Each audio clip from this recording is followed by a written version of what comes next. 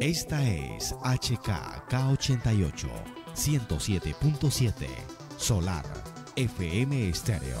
Transmitiendo desde Cimitarra Santander. Solar FM Estéreo. Una emisora comunitaria y participativa. Solar FM Estéreo. La nota musical del Magdalena Medio.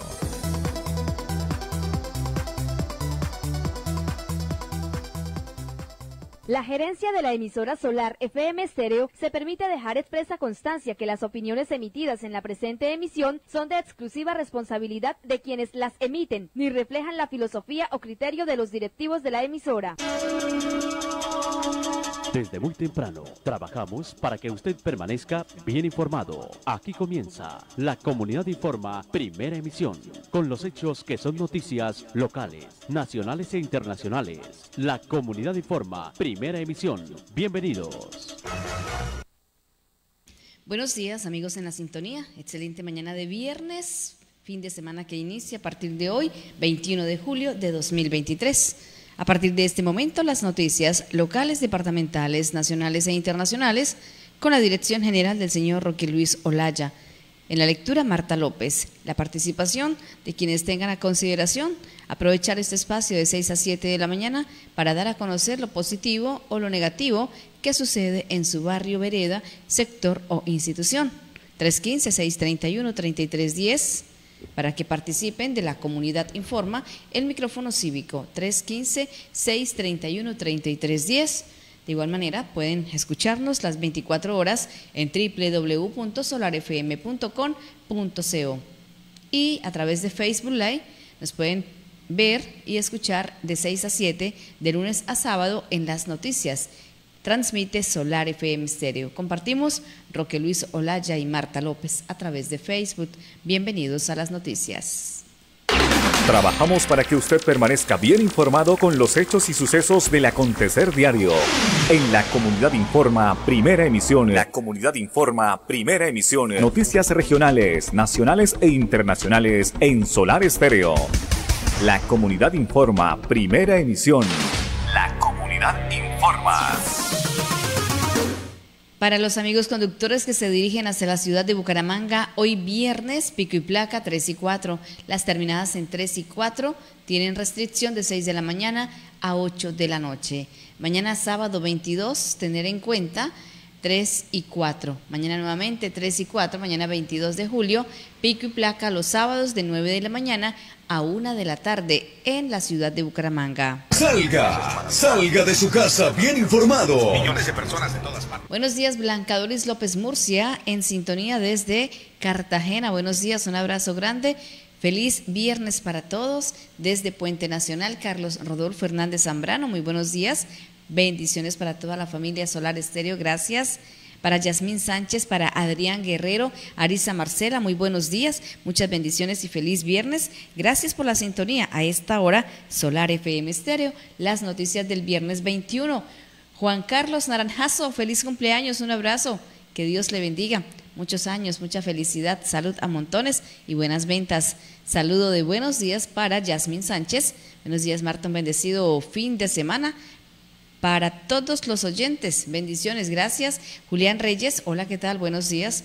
Dios nos bendiga en este fin de semana. Solar FM Estéreo, la emisora del pueblo y para el pueblo.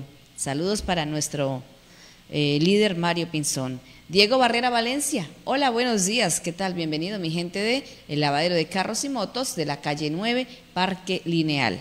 Diego, Noreli Sebastián, y Andrei Camillosos. No somos los únicos, pero sí los mejores. Seis, siete minutos. Sistema informativo. Servicio Social, los señores Edwin David Jerez Castrillón y Sandra Milena Aguilar Ramírez, residentes en el casco urbano de este municipio, se les informa que se ha fijado la fecha de 31 de julio del año 2023 a las 10 y 30 de la mañana para llevar a cabo audiencia concentrada dentro de la investigación de referencia adelantada por la Fiscalía Segunda Local de Cimitarra. De igual manera, al señor Luis Eduardo Cubides Gamboa se le informa que debe comparecer lo más pronto posible ante este despacho. Información que hace llegar el juez segundo promiscuo municipal de Cimitarra, Jorge Enrique Forero Ardila al señor Gerson Farid Marín Ariza, quien reside en la finca El Triángulo de ese municipio, se le informa que el 1 de agosto de 2023 debe presentarse a las 4 y 30 de la tarde para llevar a cabo audiencia concentrada. Quien escuche estos mensajes, favor hacerlos llegar a los interesados. Las 6, 8 minutos, la hora en Colombia. Las noticias en Solar. Estas son las noticias de hoy. Diego Barrera, Esperanza Rojas desde Suaita, Santander. Un abracito de bienvenida, tía. Ayer se celebró eh, la fecha de la independencia. Recordemos un poco de historia de Colombia. El Día de la Independencia, el proceso de liberación que comenzó desde finales del siglo XVIII con la revolución de los comuneros y culminó, culminó con la separación de las regiones que formaban la llamada Nueva Granada. Colombia celebró 213 años de independencia este 20 de julio. Así como con otras naciones de América, este país logró su emancipación del yugo español en 1810. Este año se tiene como el oficial, aunque el proceso de liberación comenzó desde finales del siglo XVIII, con la revolución de los comuneros y culminó con la separación de las regiones que formaban la llamada Nueva Granada. ¿Cuándo fue la independencia de Colombia? Un florero fue el detonante que desató el grito de independencia de Colombia el 20 de julio de 1810. Tras más de tres siglos de conquista y colonia del imperio español, el sentimiento independentista que se extendió en América. El jueves Ayer el país celebró los 213 años de histórico grito de la independencia, eh, un levantamiento popular en la Plaza Mayor de Bogotá que tuvo a un florero como detonante, que terminó con el histórico grito de la independencia e inicio así el proceso de emancipación de la Nueva Granada del dominio español. El comerciante español José González Llorente era el dueño de una tienda situada en lo que Hoy es la esquina de la carrera séptima con calle 11. Allí acudió el criollo Luis de Rubio para pedir prestado un florero con el propósito de decorar una mesa para una comida en homenaje al comisario real Antonio Villavicencio. Llorente se negó de manera despectiva y esto provocó toda una revuelta en la Plaza Mayor de Bogotá.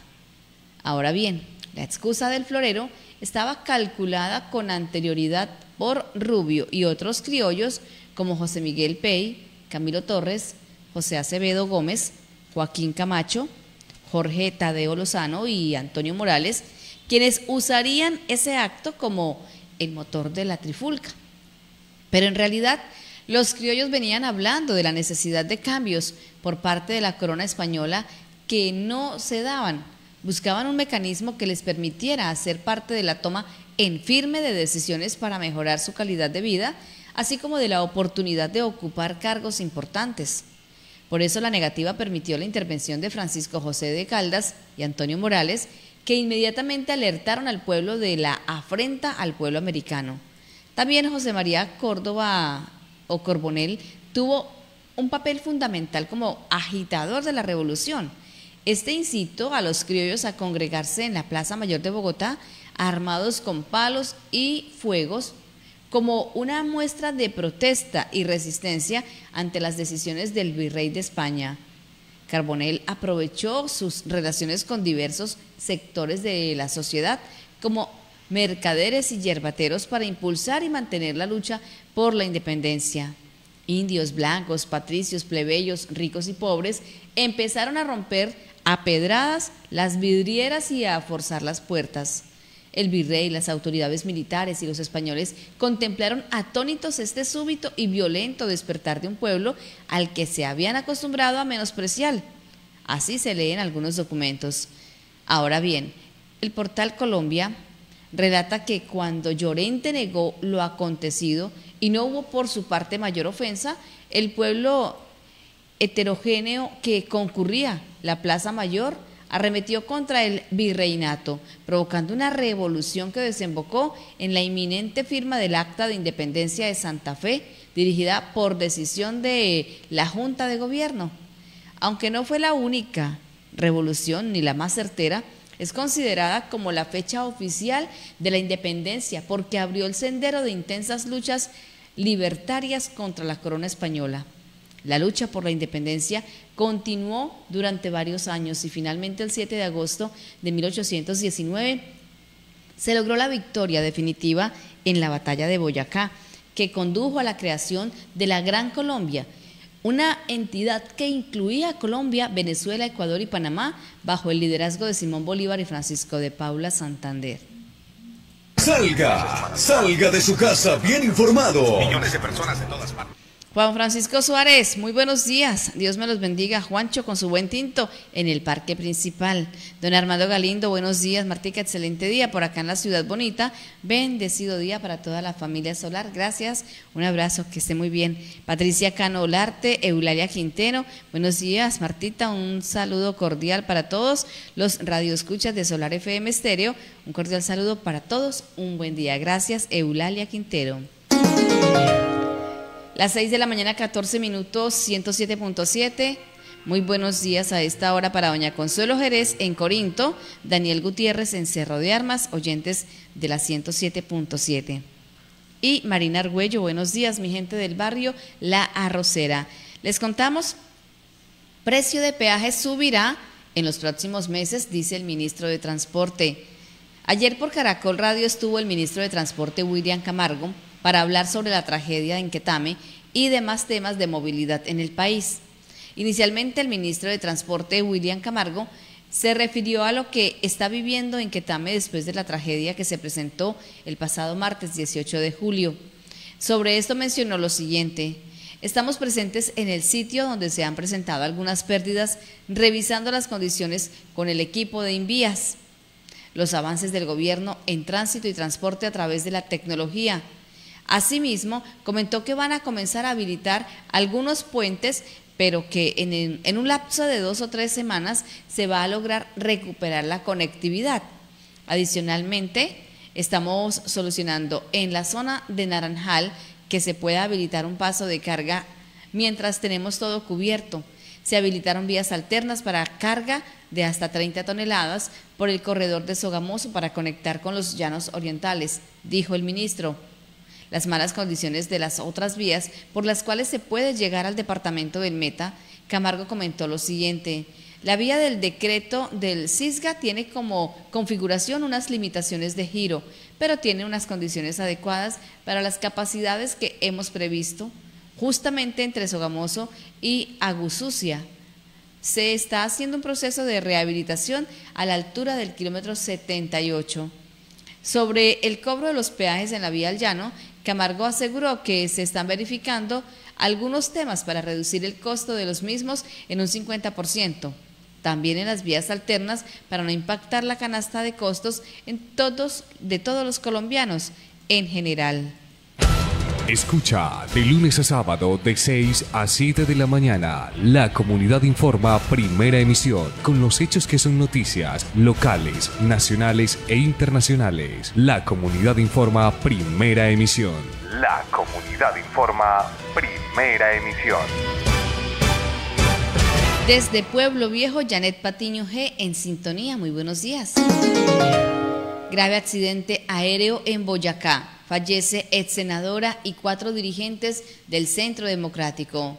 Autoridades investigan las razones de este siniestro que cobró la vida de sus cinco ocupantes.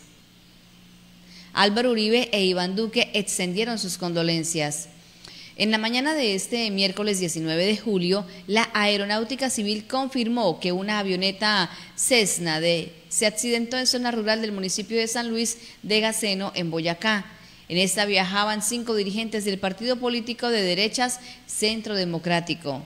Según información preliminar, la aeronave de matrícula HK 5138 que cubría la ruta entre Villavicencio y el aeródromo y de Guaymaral en inmediaciones de Bogotá se desplomó en la vereda Caño Tigre, ocasionando la muerte de sus pasajeros.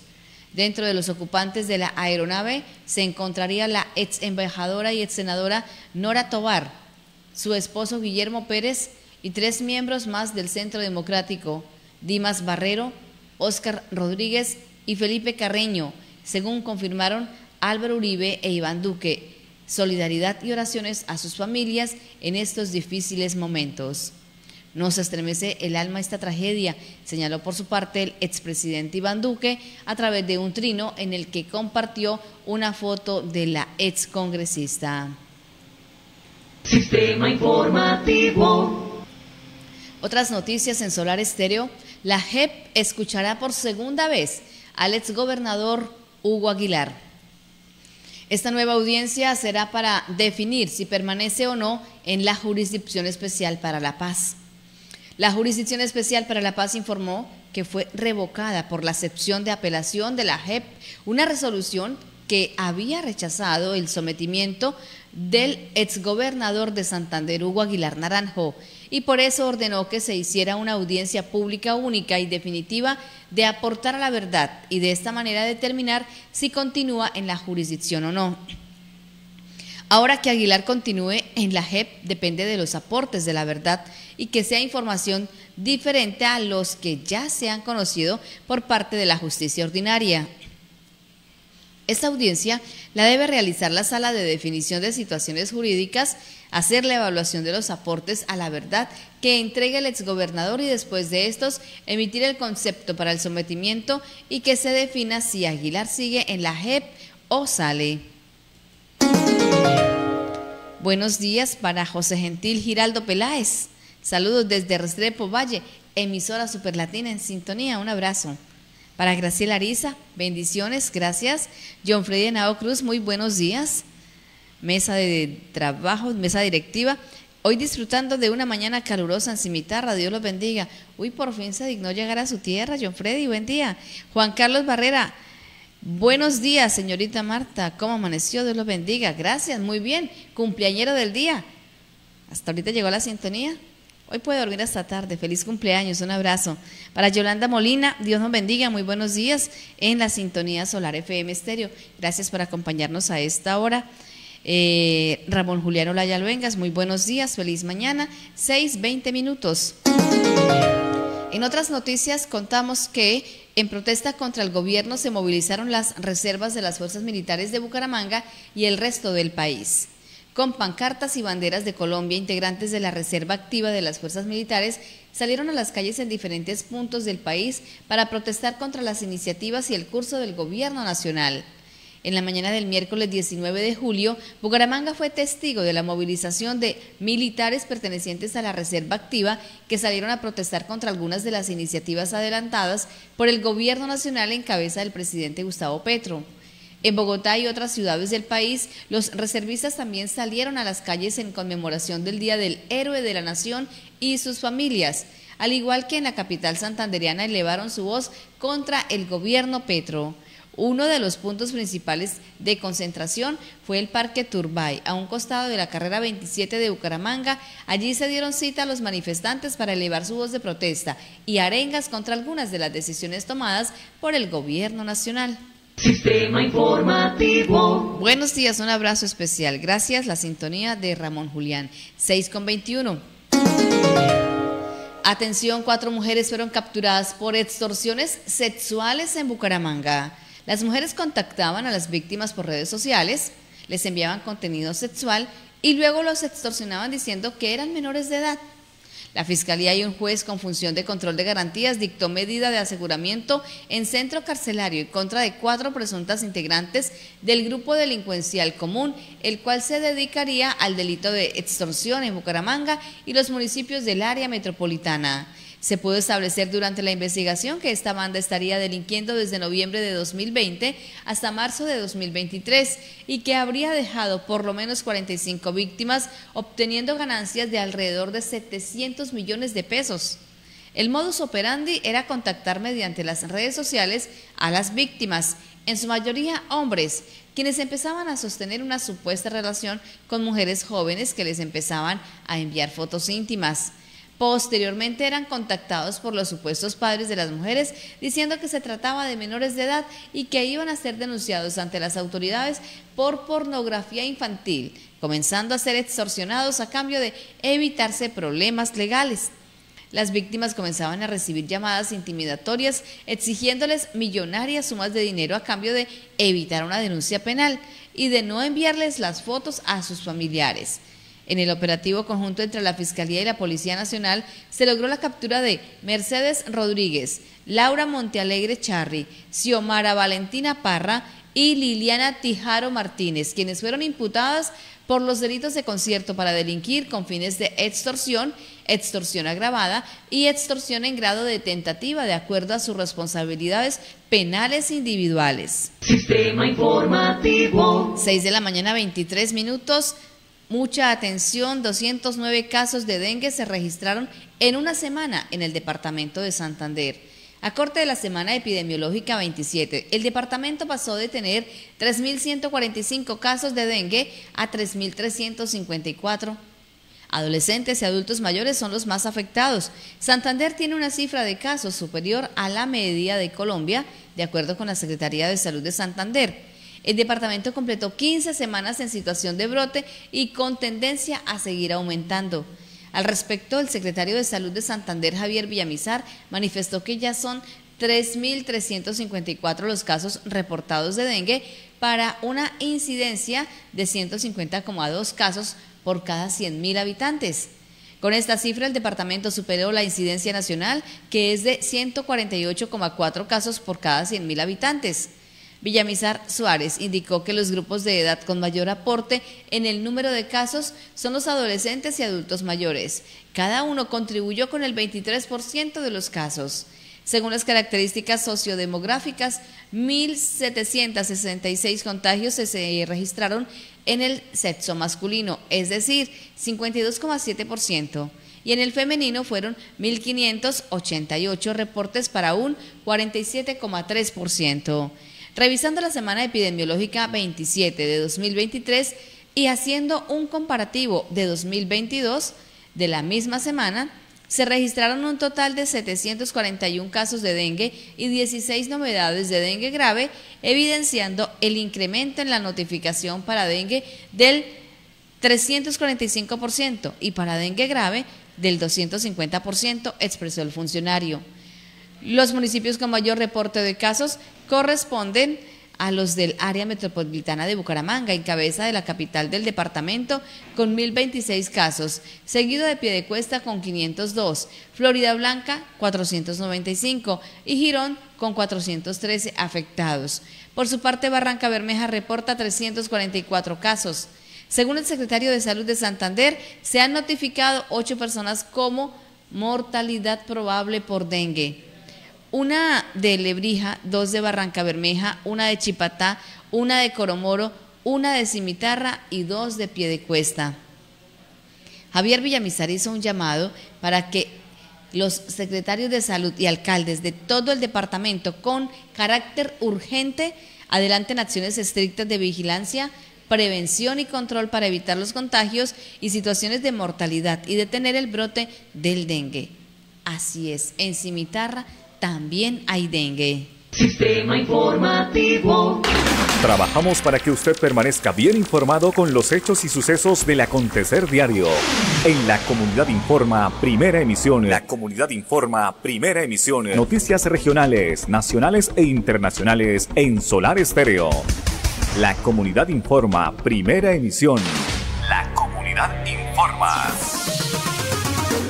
Naranjazo, saludo de cumpleaños de parte de su esposa, que lo ama. 6.27 minutos, más noticias.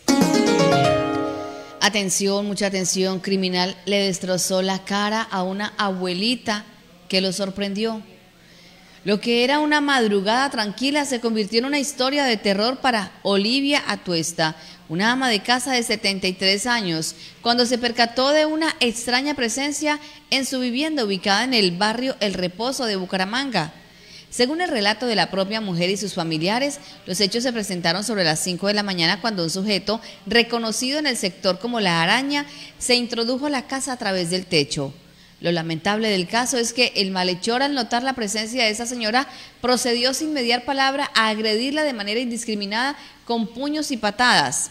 Antes de huir, el criminal habría intentado ahogar a la anciana con una almohada, pero los gritos de auxilio ahuyentaron al sujeto, quien finalmente logró escapar con joyas, dinero en efectivo y un celular. Una familiar de la afectada manifestó que eso lo que hizo con mi nona es un intento de homicidio. El tipo está libre y según la fiscalía para capturarlo debe mi abuela poner ella misma la denuncia. ¿Cómo lo hacemos si está hospitalizada? Luego de ser auxiliada, Oliva fue trasladada a la clínica La Foscal, donde descubrieron que tenía una fractura de nariz y varios hematomas, por lo que debe ser sometida a una cirugía. Finalmente las autoridades ya tienen la identidad del señalado, pero hasta el momento no tienen la respectiva orden de captura para poder hacer justicia, ya que según vecinos de la zona se trataría de un reconocido y peligroso hombre que reside en el mismo sector, por lo que se espera celeridad en el proceso. Don Eugenio Andrade, muy buenos días, bendiciones, un abrazo, bienvenida al Bairis García Espinosa del barrio Villa Hernández y de la ciudad de la Villa del Río, Ailena Ardila Zuluaga y familia, 629. La empresa Colco pide que le activen la licencia de explotación. Congresistas santanderianos se opusieron a que se explote carbón a cielo abierto en el Carmen de Chucurí, Santander, y la minera quiere que le concedan la licencia ambiental. Los asesores jurídicos de la empresa minera Colco recurren a las normativas para buscar que se reactive la licencia de explotación minera de carbón en predios rurales del municipio del Carmen de Chucurí.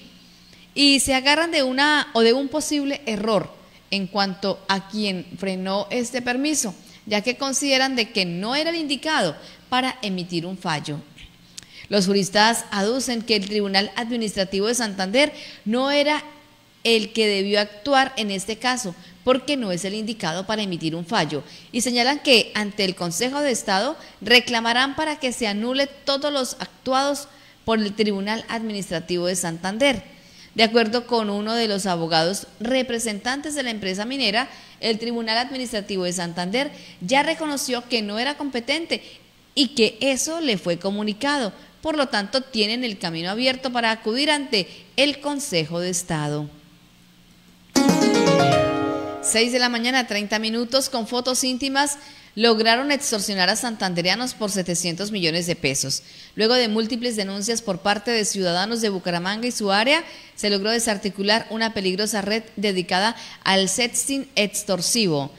En un importante avance en la lucha contra el crimen en la ciudad, de, en la, ciudad la Fiscalía solicitó y un juez con función de control de garantías dictó medida de aseguramiento en centro carcelario contra cuatro presuntos integrantes del grupo de delincuencia común conocido como los acosadores. Esta banda dedicada al delito de extorsión en Bucaramanga y los municipios del área metropolitana ha sido responsable de al menos 45 víctimas durante su accionar desde noviembre de 2020 hasta marzo de 2023, acumulando ganancias cercanas a los 700 millones de pesos. Las 6:31 minutos. Bionatura, tienda naturista en la calle Quinta, al frente de Morifresa. Tus niños siempre serán lo más importante. Por eso Bionatura te viene a presentar el producto en un polvo. Biprosur, una malteada de fresa deliciosa que ofrece al niño vitaminas B, E, C, D, calcio, magnesio y zinc para mayor concentración y desarrollo cognitivo. Consígalo en Bionatura en Cimitarra, frente a Morifresa, carrera quinta número 525, en el parque principal. Celular 314-727-6700. 6.31 minutos, mucha atención, qué injusticia. Condenaron a solo nueve años a un hombre que abusó de una niña de cuatro añitos. El procesado deberá cumplir una pena de nueve años en prisión por el delito de actos sexuales con menor de 14 años. Una acción investigativa liderada por la seccional Boyacá de la Fiscalía General de la Nación permitió que un juez de conocimiento hallara culpable a Wilson Reyes Parra por incurrir en actos sexuales contra una niña de cuatro años. Los hechos investigados ocurrieron entre el 22 y el 30 de enero de 2015 en una vivienda de Tibaná, en Boyacá, donde la víctima fue a pasar para sus vacaciones con unos familiares. Las acciones desplegadas por la Fiscalía evidenciaron que el procesado era vecino de la menor y aprovechó la cercanía con el núcleo familiar de la víctima para acercarse a esta y poder cometer el delito. Labores de la Policía Judicial determinaron que el hombre habría aprovechado los momentos en que la madre de la niña salía a trabajar para someterlas a vejámenes sexuales. Una vez regresó a Bogotá, la menor le comentó a su madre y una profesora del jardín infantil donde estudiaba lo sucedido. Ambas mujeres denunciaron los hechos ante la Fiscalía. La contundencia del material de prueba aportado permitió que el procesado fuera condenado a nueve años en prisión por el delito de actos sexuales con menor de 14 años. Sistema informativo. Estas son las noticias de hoy. 6.33 minutos en Solar FM Estéreo Andrés Ochoa, el subteniente del ejército santanderiano asesinado por las FARC. El militar era padre de una menor de 11 años y según su familia quiso entrar a las Fuerzas Armadas motivado por un primo. Llevaba siete años de carrera militar, cuatro años en la escuela José María Córdoba y tres años y seis meses como oficial activo.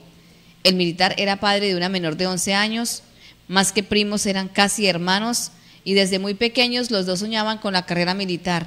Infortunadamente a Andrés lo mataron y su primo es capitán, señaló un familiar.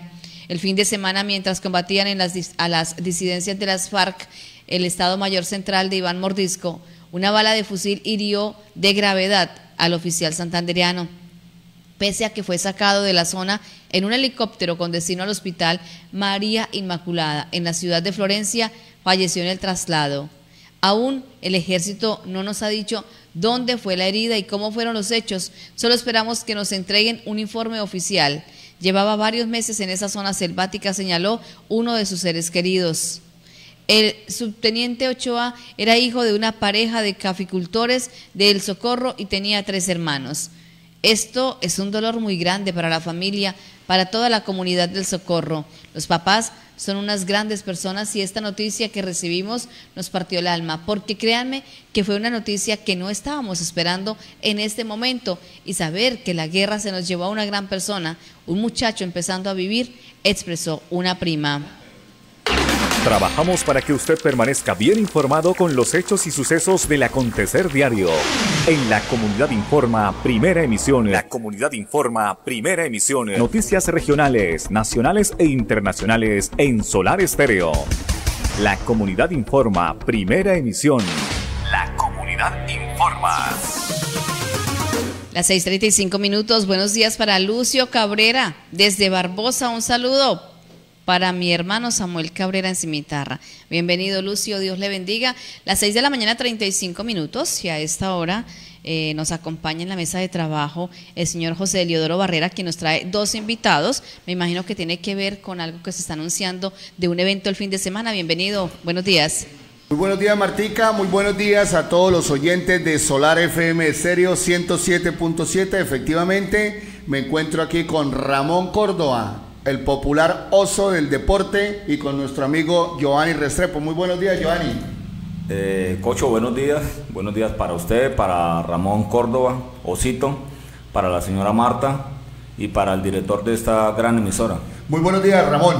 Muy buenos días, Eliodoro. Buenos días, Martica. Un gusto saludarte. Un gusto estar aquí en esa emisora que es de gran interés para nuestra comunidad. Profesor Giovanni, muy buenos días. Eh, de darle los buenos días aquí a nuestro amigo Roque Olaya y a toda la comunidad de Cimitarra. Bueno, Martica, vamos entrando en materia. Cualquier cosita, cualquier interrogante, bien pueda va a participar de nuestra, de nuestra charla. Bueno, Sí, señor. vamos a comentarle a Cimitarra de qué se trata entonces la presencia de nosotros acá y el evento que pensamos realizar este fin de semana durante los días domingo y lunes desde las 7 de la mañana. Primero que todo, eh, quiero agradecerle acá a Giovanni por la gestión y por los contactos que tuvo usted para que eh, el profesor Norberto Pelufo, eh, Javier Cervantes, la culebrita Cervantes, jugador de fútbol profesional, hoy en día con una escuela de formación deportiva de las mejores en el departamento y en Colombia, tiene allí su escuela en la ciudad de Bucaramanga. Eh, ¿cómo se logra este acercamiento? Eh, bueno, Cocho, yo creo que los futbolistas, no solamente del fútbol profesional colombiano, sino de todas las partes de, Colombia, tenemos vínculos, tenemos vínculos y hacemos amigos en cualquier lugar que, que vayamos. A mí me hicieron una invitación las viejas glorias de Santander por medio de un amigo, se llama Orlando Morales, por medio del papá de Falcao, que ya falleció, Radamel, y me hicieron jugar un partido en Bucaramanga y empecé los contactos, a buscar, a preguntar, a tener como esos vínculos con los entrenadores del fútbol colombiano santanderiano. Y llegué al punto de tener una buena amistad en estos momentos con Norberto Pelufo, la culebra Cervantes, y posiblemente Oso, Cocho. Mm. Viene una prima hermana de Amaranto Perea que estamos por definir. ¿Qué labores desempeña ella? ¿En qué es profesional? Ella es administradora de empresas, estudió una licenciatura con la FIFA y con la Federación Colombiana, nos graduamos hace ya 20 días. Y ¿Eso es gerencia deportiva? Eh, una licencia que está pidiendo la FIFA para poder tener ese vínculo con los deportistas.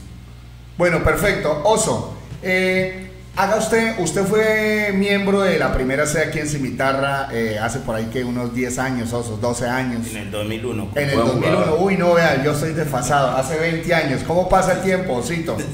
Cuando éramos, compartíamos allí en ese gran equipo que le dio tantas alegrías aquí al municipio. Haga usted la invitación, usted como que sintió que la camiseta, eh, transmítale esa energía que usted sintió en ese momento a cada uno de los jóvenes del municipio y cuéntenos cuáles son los días y a qué horas y dónde los esperamos. Bueno, querido pueblo de Cimitarra, es extenderle la invitación muy amablemente a cada una de las personas que se sienten identificados con los diferentes deportes aquí en el municipio, todas las disciplinas, la invitación es para todas las disciplinas este domingo a las 7 de la mañana en el Estadio Municipal. Ahí vamos a estar con el profesor Cervantes, ahí vamos a estar con el profesor Pelufo y con cada uno de los personajes, con el profesor Giovanni, que una vez más quiero reiterarle el agradecimiento por estos vínculos, y a nuestro amigo también Mario Fernando Pinzón, también gran, patrocinador de esta visita. Bueno, eh, Giovanni, ¿de qué categorías o de qué edades pueden ir los jóvenes allá? obviamente puede ir todo el mundo, pero ¿a quiénes vamos a fichar? ¿A quiénes vamos a, estar pendientes los, los veedores que vienen?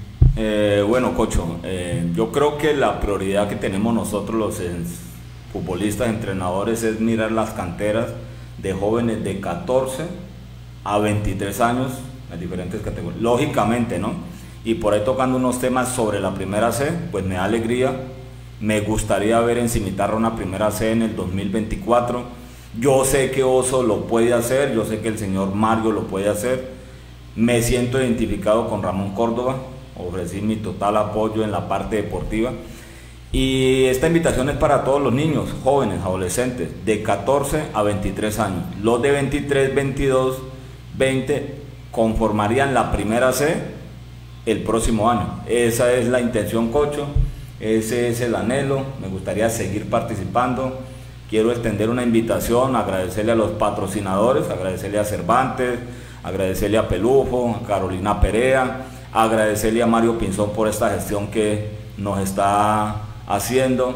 Queremos hacer la invitación no solamente a la cabecera municipal, sino a la gente de San Fernando, Campo Seco, La Piquiña, San Pedro de la Paz, San Vito, San Juan de la Carretera, eh, Puerto Laya, la tierra de Jefferson Torres, que ha sido el único futbolista profesional de este municipio. Y bueno, queremos verlos. Pelufo está llegando, Cervantes están llegando el sábado, quieren tomar tintoso, ocho, quieren tomar tintico. Entonces la invitación es esa, el que quiera ir a tomarse fotos, el que quiera hacer un videito con Pelufo, es gente muy amable, se presta para, para todas estas cuestiones. Yo creería que tendríamos que mirar esa gran oportunidad que nos está ofreciendo Dios y estos patrocinadores.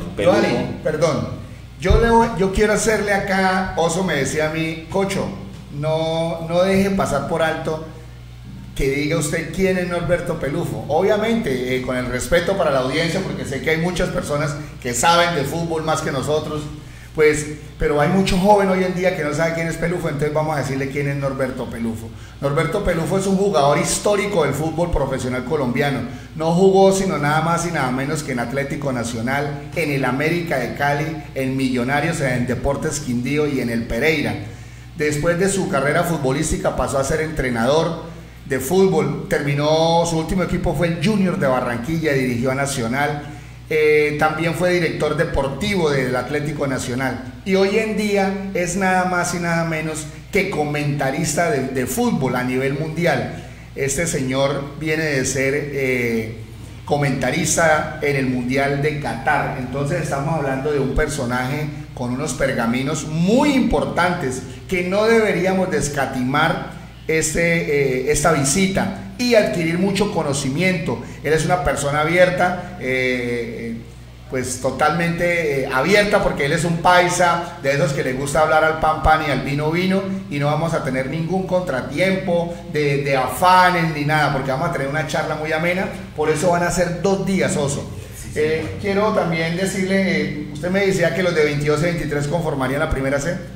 Profe, pero el que tenga condiciones y tenga 15, 16, 17 años puede jugar perfectamente en el fútbol profesional colombiano. Entonces, como para que no nos quede ahí, que solamente los de 22 y de 23, sino que también cualquier chico, por eso citamos de 14 a 23 años. Correcto. Oso, voy con usted. Eh, mire, Osito, independientemente, ahorita se viene un proceso político, pero yo lo que digo es que independientemente de quién sea el alcalde, si usted está en el consejo, usted debe promover esta idea. Mire, esta idea fomenta deporte, quitamos jóvenes de la drogadicción, se beneficia el comercio en cimitarra, esas épocas doradas. Entonces, yo quiero escucharlo a usted aquí, que usted como líder, hoy en día es como líder, porque usted hoy en día no está inscrito, pero que usted tenga ese propósito, entonces, eh, yo una vez lo, lo, pongo a que, se, a que se confiese acá. Gracias, Eduardo. De verdad que hace mucho tiempo no se siente la sensación acá de participar en el tema del fútbol. Nuestra gente hace rato no ve el buen fútbol. Cocho, decirle, la experiencia que yo tuve de participar en la primera C, yo salí de jugar veredal, como usted se lo pudo dar cuenta, y el profesor Humberto Mendoza me escogió para participar en esta selección. Fue una experiencia inolvidable, muy grata y que enriqueció mi vida. Y soy uno de los que digo que estando en el consejo con la ayuda de mi Dios primeramente, vamos a trabajar para fortalecer las escuelas deportivas desde las edades, desde los chiquitines hasta las mayores. Aquí tenemos que volver a los encuentros municipales, debe volver la primera C, porque yo estoy seguro que de esa manera es que nosotros podemos evitar de que muchos jóvenes caigan en caminos oscuros en la drogadicción. Y el mejor cocho, de esta manera estoy seguro, incentivando las diferentes disciplinas, no solo el fútbol. Claro es más fácil evitar, es más fácil evitar que un niño caiga a las drogas o una niña que sacarlos cuando ya están metidos en el problema. Entonces, por eso es uno de mis propósitos de que las diferentes disciplinas deportivas sean apoyadas. Y yo sé también que, pues, lo que usted dice, Cocho, eh, llegue el alcalde que llegue, pues vamos, esa es mi intención. Debe estar en la agenda de cualquier alcalde la primera C. La primera C, la primera C debe, es algo fundamental para nosotros. Ya es que Cimitarra tiene jóvenes profesionales en, los diferentes, en las diferentes disciplinas. Tenemos una ciclista, tenemos una deportista de apellido Córdoba, también representa Cimitarra con el Real Santander. Y así tenemos muchos jóvenes. Hay un joven que está jugando en Ecuador y hay una cantidad de personas de nuestro municipio. Hoy en día hay unos niños con unas escuelas privadas participando en Bucaramanga y están haciendo una gran participación, están haciendo buen espectáculo. Entonces eso lo motiva a uno a que ellos tengan apoyo porque desafortunadamente apoyo de las instituciones es poco. Ramón, por eso la importancia de que asistan los jóvenes deportistas porque es que viene gente experta en el tema el ojo clínico que tiene el profesor Pelufo para mirar jugadores de igual manera, la culebra Cervantes, eh, eh, son, son personajes fundamentales que dicen ese muchacho tiene condiciones, ese muchacho está jugando en una posición errada. Bueno, eh, Giovanni, aparte de los deportistas como tal, ¿quiénes podemos asistir a este evento? bueno, Cocho, yo pienso que la persona que siente el deporte, que ama el deporte y que tiene que ver con la, la idiosincrasia del pueblo. O sea, queremos de que vayan todos. El señor que ordeña, la señora que cocina, el señor que enseña, el preparador físico, el entrenador, la entrenadora, el señor del campo, la madre de familia, el padre, queremos que toda la comunidad, presidentes de junta, entrenadores, preparadores físicos, profesores de los diferentes colegios, árbitros, árbitros como tal, lo que decía usted Cocho y lo que decía Oso Yo tuve un paso por el fútbol colombiano y me ha dejado grandes amistades. Esos, me gustaría ver una primera C en el futuro porque sé que hay material. Y se le olvidó Cocho, hay uno que está listo para firmar en la China, que ha rodado por cuatro países, que ya vamos a dar de pronto más adelante el nombre de ese jugador también de Cimitar. Entonces, si nos ponemos a ver Oso, Cocho, Marta que nos está escuchando y toda la, toda la audiencia, no piensen de que Cimitarra no tiene con qué, al contrario, se ha quedado floja por aquellos mandatarios que no quieren darle la oportunidad a los deportistas. Cimitarra tiene cómo sacar una primera C y una primera B. Lo único que le falta es un estadio. Bien, bien. Eh, Giovanni, venga, eh, lo interrumpo porque usted sabe que el tiempo en radio es corto, pero algo muy importante me acaba de llegar aquí, me llegó un WhatsApp. El tema femenino, claro que sí, las mujeres, es que hoy, está, hoy en día estamos a la par, Osito. Tanto los hombres en el fútbol, eh, en el fútbol y las mujeres también. Claro que sí. La Oso, pero le corresponde a usted invitar a las mujeres. Viene Carolina Perea, que es prima hermana de Amaranto Perea, a mirar a las mujeres, Oso. Bueno, queridas damas, eh, en un momento tuve la oportunidad de dirigir aquí el equipo de las mujeres eh, por parte de la administración de, de sus momentos. Entonces es aprovechar el momento ya de que vienen esos amigos, vienen esos personajes del fútbol profesional y hacerle la invitación a cada una de esas damas, que les fluya el fútbol y la que le fluya el patinaje, la que le fluya el atletismo, cada una de las mujeres de las damas de nuestro querido municipio para invitarlas a que se, para que se unan al evento el día domingo 7 de la mañana en el estadio municipal. Aprovechemos esta visita ya que es de gran interés. Martica. Bueno. Se me quedaba algo, Martica. Sí, Entre los mencionados no mencionamos la India. Y la India es uno de los rincones de nuestra región que tiene muchachos con muchos talentos para pesa, para fútbol, para atletismo, para microfútbol. Entonces aquellos jóvenes de la India que tengan la, tengan la capacidad de asistir al evento, bienvenidos, aquí los esperamos. Bueno, la idea es convocar a jóvenes y juvenil, prejuvenil al estadio este domingo y lunes. A las 7 de la mañana. Los que van el domingo ¿Van solamente el domingo o deben ir también el lunes? Martica, el domingo esperamos a todo el mundo en el estadio de deportistas, de igual manera a los árbitros, a, los presidentes de los clubes, a los entrenadores y al público en general, ¿sí? Sí. Y allá tomaremos también la decisión el, mismo día, el domingo, al otro día el del horario, sea 8 de la mañana o sea 7 de la mañana, en el Polideportivo de la Ciudadela Villa del Río, allí porque por la cuestión de las gradas y todo, porque allá entraríamos en la parte de, de las charlas, de los, del conversatorio como tal. Y el domingo sí sería solamente como para mirar, para mirar los, jugadores. O sea, que lleguen preparados con su vestimenta. Con los tenis, con sus guayitos, sus medias, como si fuéramos a enfrentar un partido de fútbol. Todas las líneas deportivas mencionan ustedes. Todas las líneas deportivas porque van a haber unas charlas de superación personal, van a haber unas charlas deportivas, eh, drogadicción, drogadicción, toda esa cuestión. Todo lo que Entonces, eh, eh, de verdad que es muy interesante. Yo pienso que no debemos de mirar cuestiones de ninguna clase, de ninguna clase de colores ni de sabores. Debemos de asistir porque allí lo que vamos a adquirir es conocimiento y saber. Bueno, entonces este domingo en el Estadio Municipal todas las personas, ya que por acá pregunta Sandra, que, si le puede regalar el número de celular para llamarlo y comunicarle para que le den la oportunidad a Jonathan Santamaría, su hijo. Claro que sí, con mucho gusto. Eh, Pelujo y los demás llegan el sábado. El sábado. El sábado en la tarde estarían aquí para compartir con nosotros, de pronto unas foticos en el monumento, alguno de ese tema, pues ahí vamos a estar. Voy a regalar mi número de contacto, voy a estar al frente del, Ramón, Ramón mire, otra cosa que esto ha sido un problema de todos, de todos los mandatarios. Aquí vamos a incluirlos a todos. A mí me gusta el pan pan y el vino vino, pero no podemos llorar sobre la leche derramada, tenemos que seguir. Es la cuestión del estadio.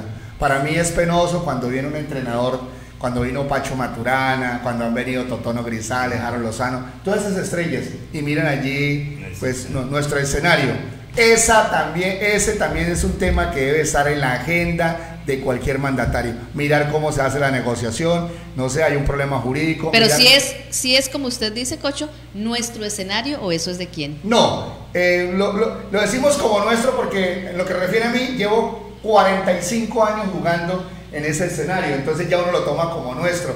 Pero cuando nos dimos de cuenta que había un litigio, que había un problema, que ese terreno tiene dueños y resulta, resultaron dos dueños, entonces pues, ¿qué, qué, qué pensamos nosotros? que miraran a ver la parte de los jurídicos, del alcalde que sea, cómo legalizamos, cómo adquirimos ese terreno, porque de verdad es que no tenemos estadio, ¿sí? Y lo otro es que es penoso cuando vienen estas figuras. Claro que ellos también vivieron eso, ¿sí? ellos también jugaron en barriada. El 90% de las canchas de Bucaramanga son de tierra, profesor. Usted no me deja mentir. Pero entonces ya, eh, pues tiempo avanzado, Martica, hemos, hemos evolucionado y necesitamos un escenario decente. Cocho, tenemos un escenario que se nos presta para el fútbol profesional, al cual el terreno es en la Villa Olímpica.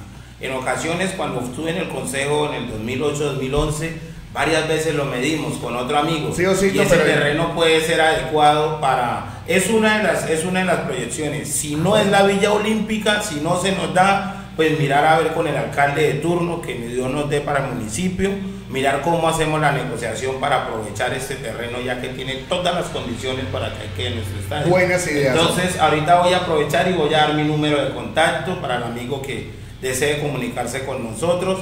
Mi número es 313 822 7118 Ramón Córdoba o el osito su amigo. 313 822-7118. Aquí está la invitación para toda la comunidad de Cimitarra. Ya retornamos. Atención futbolista, técnicos, árbitros y público en general. Los días 23 y 24 de julio, gran conversatorio y chequeo de futbolistas de 14 a 23 años. Contaremos con la presencia del profesor Norberto Pelufo, exjugador técnico y comentarista del último mundial en Qatar. Te esperamos este domingo desde las 7 de la mañana en el Estadio Municipal. No faltes por ningún motivo con miras a la conformación de la primera C en Cimitarra. Invita Mario Pinzón y Ramón Córdoba, el oso del deporte. Bueno, retornamos entonces con esta charla aquí con el profesor Giovanni Restrepo y con nuestro amigo El Oso del Deporte. Nuevamente agradecerle aquí a Martica, a Don Roque, nuestro director, por prestarnos los micrófonos y poder llegar así a miles de personas en el departamento. Entonces, eh, amigos oyentes, quiero volver a retornar, quiero volver a ser incisivo. Por favor, todas las escuelas de formación, todos los deportistas, vamos a ir a este gran evento Mire, el personaje, nuevamente le digo, es una persona de muchos pergaminos, el profesor Norberto Pelufo, y lo vamos a tener aquí dos días para preguntarle todo lo que nosotros queramos eh, saber, preguntar interrogantes concernientes al fútbol, en su experiencia deportiva.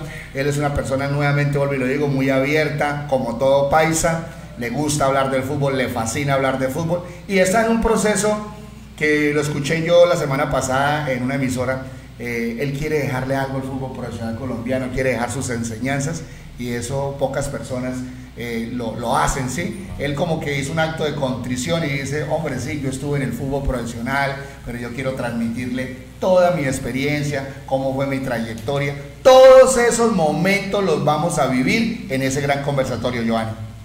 Cocho, yo tengo la oportunidad de ir a Bucaramanga y entrevistarme con ellos en el cacique y Pelujo es una gran persona. Créame que eh, no es por uno decir cosas que no son, pero Pelujo tiene una parte humana que, va a ser algo diferente. Yo sé que las personas que nos acompañen, como dice usted Cocho, como dice eh, Oso, se van a sentir muy orgullosas de ver un personaje de estos, porque lo que le van a sacar es de mucho beneficio para nosotros. Yo me siento contento cuando voy a Bucaramanga y ellos me llaman y nos entrevistan es una gran persona y créame, Oso, Cocho y la audiencia que nos está escuchando, van a tener un privilegio. Yo he tenido un privilegio de escuchar a Norberto y tenemos una buena amistad y yo sé que ya va a estar acá. Ellos llegan el, el, sábado, Oso. Ya estamos ya a punto y queremos que esa, esa ilusión que tiene usted en su corazón, en su deseo de conocer un estadio de fútbol, de jugar un partido profesional, de estar eh, con 20 mil, 30 mil personas aplaudiéndolo, yo sé que le puede llegar a su vida. Vuelvo y repito, conozco mucha región de Santander, eh, trabajé acá con la alcaldía, me gustaría en un futuro eh, seguir colaborando, quiero colaborar. Ya viene Pelujo, ya viene Cervantes, ya viene Carolina Perea. Y la invitación es para todos, para todos, para toda la población. Yo creo que el sueño no se lo puede dejar robar de nadie. No, no, no deje su sueño frustrado, usted que me está escuchando, eh, de pronto la señora que está en estos momentos cocinando, la que está barriendo, la que está por ahí haciendo sus cosas. Saque tiempo para que también venga y conozca la parte femenina, porque Carolina Perea tiene mucho que contar, es una administradora de empresas que está gestionando con unos tipos holandeses, gente de Santander para llevar a Holanda. Entonces, eh, oso, cocho, pues yo no sé qué más decir, me da alegría. Pues yo creo que ya, ya, ya lo dijimos todo en cuanto a esta invitación. Osito, eh, nuevamente pues reitera la invitación porque el tiempo es oro en radio. Hombre, Giovanni, complacido, de verdad complacido, a veces me quedo sin palabras de la alegría de ver de que esos personajes nos van a, a visitar contento de que las cosas se nos vayan dando, Giovanni, no es en un futuro, usted ha venido colaborando a Cimitarra, tratando usted de hacer llegar cada uno de estos personajes para que nuestros jóvenes se deleiten y se enriquezcan también mentalmente. El fútbol no es solo correr tras del balón, no es solo melear, no es saber parar el balón, también es saber pensar. El fútbol también necesita psicología. Yo tuve, yo tuve una, una gran experiencia con Falcao García, fuimos compañeros el sueño mío es llevar a Falcao a mi pueblo. Y a Cimitarra. Y a Cimitarra. Qué bueno, qué bueno. Yo tuve la oportunidad y hablé con Radamel García, el papá que ya murió, fue técnico mío en dos equipos colombianos y él quería ir a mi pueblo, pero desafortunadamente. Venga, venga, Giovanni, para, de pronto para las personas que no lo conocen, sí, porque, o, sea, ya usted está mayorcito, igual que nosotros, pero queremos que usted nos diga eh, en qué equipo jugó. Usted fue futbolista profesional, por eso es que está hablando aquí con propiedad y por eso conoce mucha gente del entorno futbolístico. Yo tuve la oportunidad de empezar en mi pueblo, en la barriada, como decimos.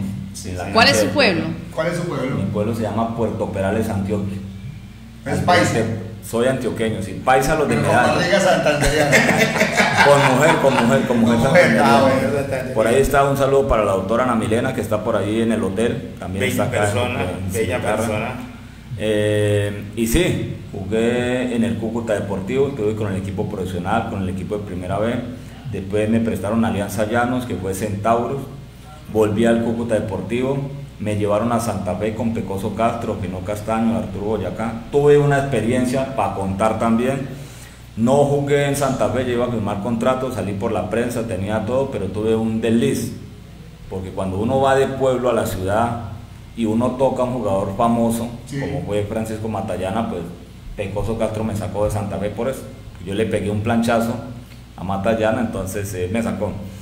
Fui a Lanceros Boyacá, me encontré con Radamel García, que ya había sido, había sido técnico mío en Alianza Llano, y me presentó a Silvano Espíndola, el que llevó a Falcao a River Plate, con Hernán Pacheco, que es un gran técnico también, y ahí tuve la experiencia de jugar con Falcao. Gran experiencia. Con Falcao jugamos juntos a nivel profesional, debutamos, estoy en la historia de Falcao, aparezco en las fotos del inicio de Falcao. Sí, es verdad. Tuve la oportunidad de jugar con el papá de James Rodríguez, compañero mío en Alianza Llanos, Wilson James Tuve la oportunidad de marcar al finadito del Palomo Zurriaga, de marcar al Muelas León, Arnoldo Iguarán, de marcar a. Le hice un gol a Tuberquia.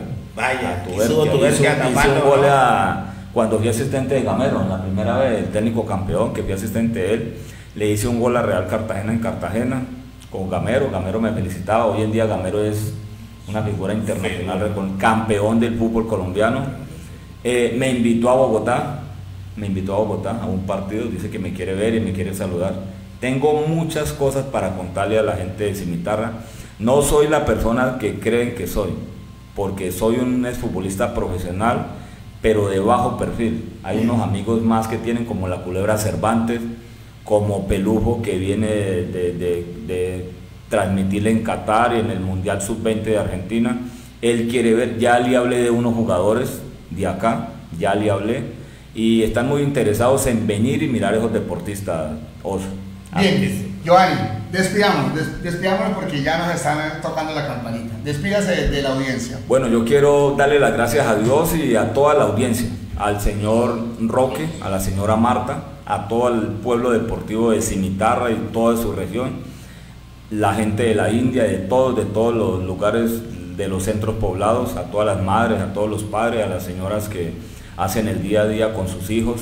Eh, tratemos de llegar, tratemos de llegar y lleguemos, hagamos el esfuerzo, que es un esfuerzo que nos va a enriquecer toda la vida y nos va a dar la oportunidad de que un muchacho, de que una niña de estas vaya al fútbol colombiano. Tenemos unos vínculos, no solamente en Colombia, con Alberto nos dice que también hay unos vínculos en el exterior, pero que queremos priorizar lo de acá, lo de acá y lo de Santander. Entonces, muchas gracias Marta, muchas gracias señor Roque Olaya, Oso, a Mario también le mando un saludo y a toda la gente de Cimitarra. No miremos esto como una rivalidad, miremos esto como una, como una opción de vida para rescatar a esos niños y para seguir resaltando el deporte que tiene este, este municipio. Entonces, los esperamos, esperamos. El, pelujo llega el sábado. Ojo que le gusta tinto, ¿no? Le gusta el tintico. Bien, Oso. Eh, bueno, eh, muy grato por este espacio, por esta visita. Eh, de nuevo reiterar la invitación desde, hombre, para todo el municipio de Cimitarra, desde Santo Tropez, el 28 de la Carrilera, Miravalle, Vista Hermosa, La India. Hombre, aprovechemos esta oportunidad, es para todo, para toda la población. Aquí no miremos religión, color, género, ni miremos eh, sectores políticos. Esa invitación es para todos y darle las gracias a nuestro amigo Mario Fernando Pinzón por darle la oportunidad a Cimitarra de recibir estos personajes de talla nacional e internacional. Queridos amigos, los esperamos el domingo a las 7 de la mañana para que disfrutemos de este gran evento. Bueno, Martica, quiero despedirme con todos los oyentes. ¿Tiene algo que decir? Si Falcao termina en Millonarios, por ahí unas fuentes, unos amigos que me dicen que termina en Millonarios, voy a hacerle la petición de que venga a Cimitarraos. Sería magnífico. No, sabemos que sí, porque Giovanni, hemos, Giovanni tengo que uno cumplirle. Bien. Oyentes, quiero decirle, manifestarle que el agradecimiento por habernos escuchado. De igual manera para Martica, para toda la familia de Solar, a Don Roque, gracias por este espacio. Y gracias también a usted, Oso, por esa gestión. De igual manera a mi amigo Giovanni. Agradecerle también al señor Mario por su gestión que hizo para el alojamiento y la alimentación de, de, estos eh, deportistas. Eh, se les agradece inmensamente. Gracias por colaborarle al deporte cimitarreño. Martica, mil gracias. Éxitos, que estén muy bien. Las 7, 5 minutos, Solar FM Estéreo, 107.7. María Castañeda, buenos días, Dios te bendiga. Un feliz fin de semana. Saludos de Cocho. A Dadis Martínez Lugo, Luis Alfredo Fajardo, todos. Enid Flores García, saludito Isabel Cristina Cerna. Eh, buen día, que estén bien. Camila David, buenos días. Sandra Zamora, gracias. Jorge Quintero, en sintonía. Marta Lucía Ariza de Ramírez, gracias a la sintonía de Oscar Julián Ramírez González. Saludo cordial para todos los que nos acompañaron en este espacio noticioso. 7-5 minutos en Solar Estéreo 107.7 con la lectura de noticias, Marta López, la dirección general del señor Roque Luis Olaya. Un excelente día para todos. Con los hechos que fueron noticia local, nacional e internacional, hemos presentado La Comunidad Informa, primera emisión. Esta es HK K88 107.7 Solar Estéreo, transmitiendo desde Cimitarra Santander. Solar FM Estéreo, una emisora comunitaria y participativa. Solar FM Estéreo, la nota musical del Magdalena Medio.